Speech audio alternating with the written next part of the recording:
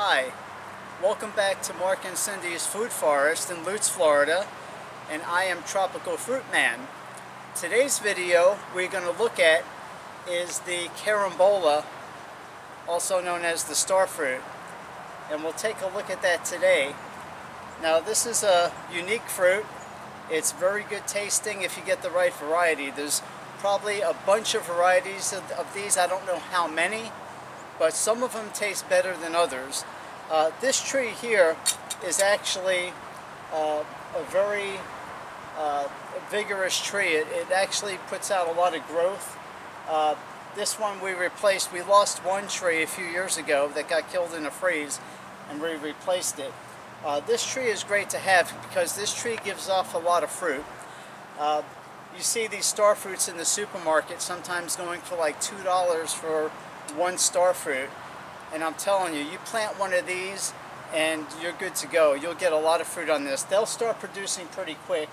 Uh, this one once we got it in the ground it took a little bit of time to get going maybe a year and a half but as you can tell now it's growing pretty good and it's putting out a lot of fruit. This year it actually missed the summer crop. We had some odd weather uh, last spring and I think that affected the uh, the blooming on this tree and it gives you two yields, at least two yields a year, one in the summer and then one in the winter here in Central Florida.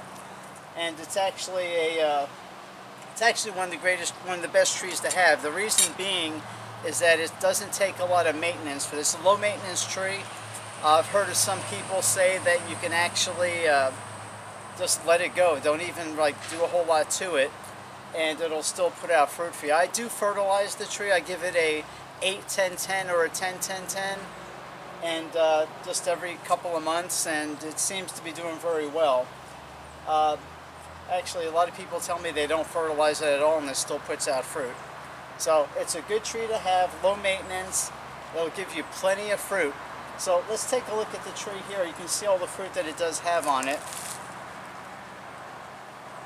And we'll talk about the tree just a little bit, just to give you an idea of what the tree is all about. So this tree basically is common in East Asia, throughout the Pacific Islands. Uh, they're cultivated commercially in India actually, and Southeast Asia, Southern China, Taiwan, and in the Southern United States. They're also grown in Central America and in South America and throughout the southwest, southwestern United States and Florida and in parts of the Caribbean also, and even in Africa. And they're grown uh, as, uh, as ornamentals also. It's a beautiful tree actually, it spreads out really nice. But again, the, the great thing about this tree is that all the fruit that it does put out, it's a great tree for fruit production.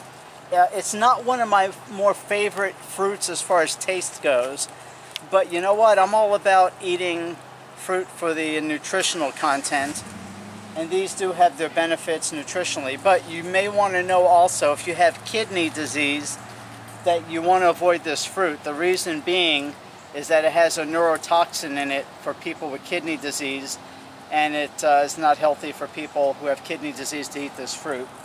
So you want to avoid it if you have that kind of an issue going on. But let's go ahead and take a look at the fruit here. And we'll cut it in half. And I usually like to cut off the green edges here. I'll just kind of like skim that off a little bit. Here. And here.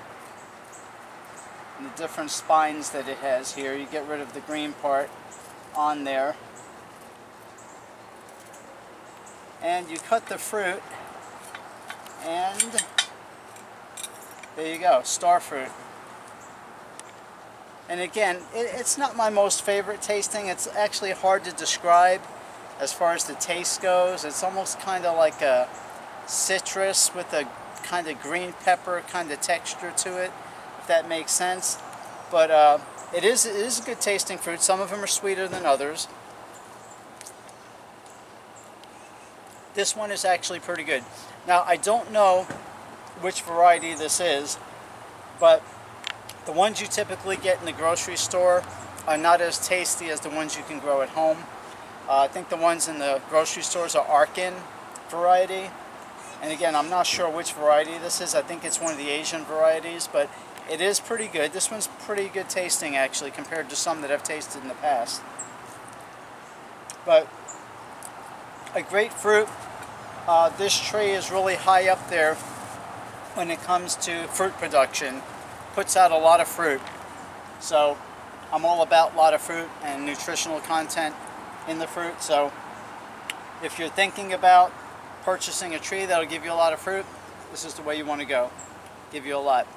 So anyway, I appreciate you watching and we're living in some tumultuous times now in, the, in our country with things going on politically and uh, just a lot going on. People are kind of unsure where they stand and you know I always encourage people to to look to the Lord because if in times like these the only hope we really have is not in man. Man cannot deliver what we need in this life, but God will take care of us and He will give us the peace that we're looking for in this life.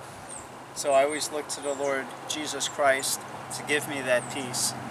And uh, I urge you to consider Him as your Lord and Savior. So thank you again for watching today. We'll be back again with uh, another video shortly. So, and before we see you again, be blessed and keep growing.